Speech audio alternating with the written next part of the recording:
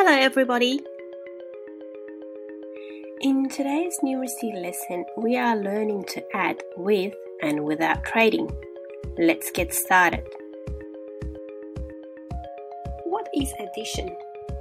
Addition is the term used to describe adding two or more numbers together. The plus sign is used to show an addition. In this video, we're going to learn multi-digit addition. A multi-digit number is just a number with more than one digit. Two-digit numbers use two number places, like 32 has a 2 in ones place and a 3 in tens place. Have a look at this three-digit number, 215. It has a 5 in ones place, a 1 in tens place, and a 2 in hundreds place. But if you know your basic addition facts, no matter how many digits the numbers have, you can add any digit numbers easily. Let's start with adding two numbers without trading that you have already learned about this week. Let's start by adding these two numbers together. The first thing we need to do is to stack the numbers up. And by saying that, I mean rewriting them on top of each other so they are like this not like this. Make sure you line them up nice and straight in their place value order. But here's the most important thing. Be sure to line them up so the number places are directly over each other. So that the ones place of the number on top is directly on top of the ones place of the number beneath it. And if you line up the ones places correctly, then the other number places will be lined up correctly too. 10 places will also line up and the hundreds places. Well, the bottom number doesn't have a hundreds number in its place, so we can imagine it's a zero, but we don't have to show it actually. After our numbers are lined up and ordered, we draw our line just below the numbers to write down the answer. We also put a plus sign down here on the left side to show that we are adding. Now we have columns and numbers and all we need to do is to add the columns. And this is the most important thing to remember.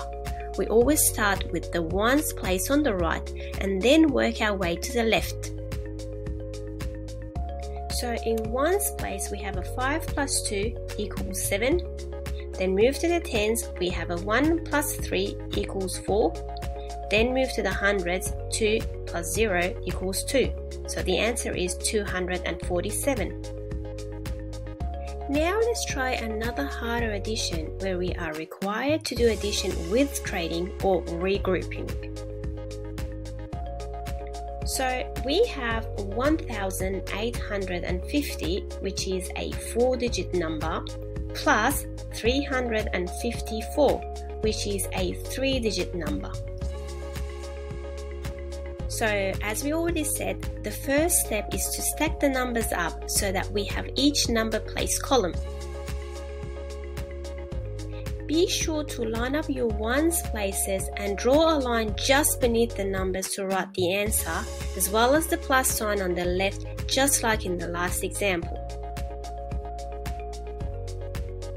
Again, we start with adding the ones places on the right and make our way to the left. So 0 plus 4 is 4, so a 4 goes in the ones place of our answer. Now we have to move to the next place to the left, which is the tens place. Here comes the tricky part. If you add the digits in the tens place 5 plus 5, you get the answer 10. But 10 is a two digit number. So we will need to use these in our answer, but we can't leave the one in our hundreds place because we're going to need that space when we add our hundreds place. So to make space, what are we going to do?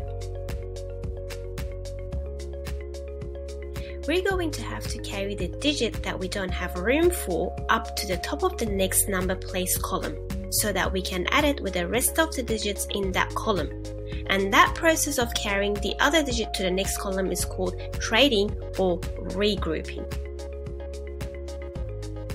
Okay, now that we have carried that 1, we can add the other digits in the hundreds column, which means adding up 3 digits now. 1 plus 8 plus 3, which equals 12. Hmm, another two digit number. Okay, it looks like we have to carry again because we're going to need this column spot for the next answer column to the left. So we're going to do the same thing that we did before and carry the 1 on the top of the next column on the left and leave that 2 behind in the hundreds place. And now just one more column to add up now in the thousands place we have 1 plus 1 equals 2 and the answer is 2204. Now let's make it a little bit harder and try these three numbers together. 145 plus 809 plus 77. So we start the same way. Stack the numbers up, making sure all the ones places are lined up in one column, all the tens in one column, and all the hundreds in one column. We draw the line for the answers and the plus sign on the left hand side. And as always, we add up the numbers in the right hand column ones first. 5 plus 9 plus 7 equals 21.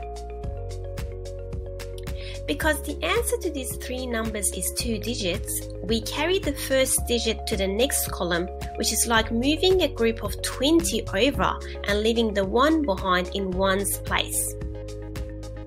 Now we add the next column and now we have four numbers in this column that we need to add. So 2 plus 4 plus 0 plus 7 equals 13.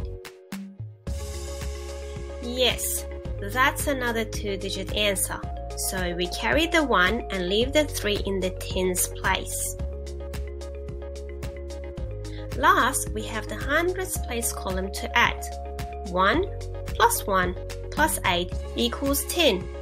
Oh, another two-digit number. But this time we don't need to carry or trade because there's no more columns left to add. So we won't be getting in the way of any answers by leaving both the digits in the answers. So our answer is 1031. If you enjoyed watching this video or learned something new, please hit the subscribe and the like button. Thank you!